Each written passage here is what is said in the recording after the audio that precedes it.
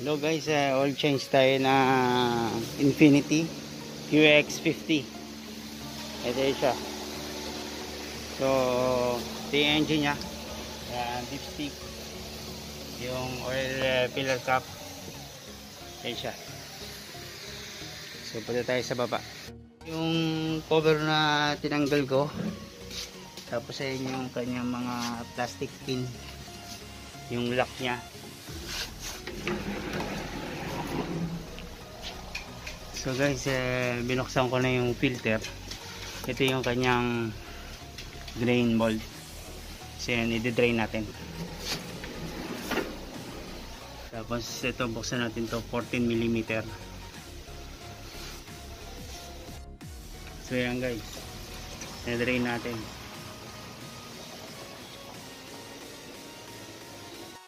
So guys, ito yung kanyang loob. Yan.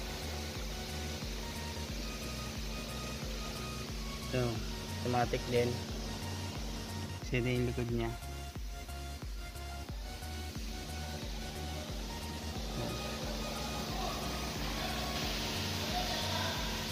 Ito yung filter niya. Yung filter code niya. So, papalitan natin ng bago.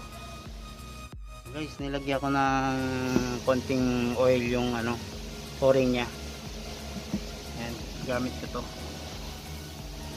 So guys, install na natin. So yun siya. Install natin siya. Habang dinedrain natin. Yan, hindi ba siya tapos eh. So natin install to.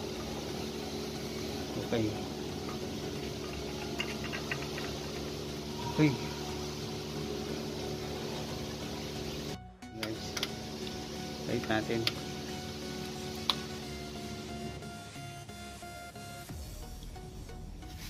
Okay.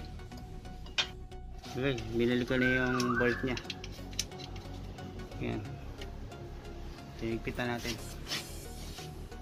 Gamit ang number 14 na spanner. Okay.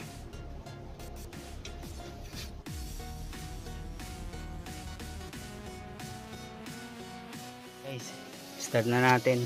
Check natin yung oil level niya. So, push button. So, dito yung start muna natin.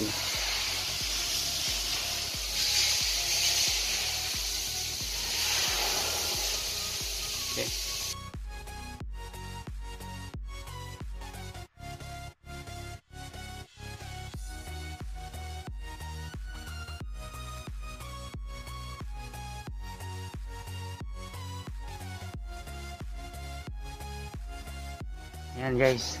Tapos ko na siya. Nalagyan ko na siya ng langis. Bali yung oil niya is uh, 4 and a half liters lang. So i-close na natin ulit. Ito na natin yung cover. Okay guys. Natapos ko na rin. Ikabit ko na yung kanyang cover.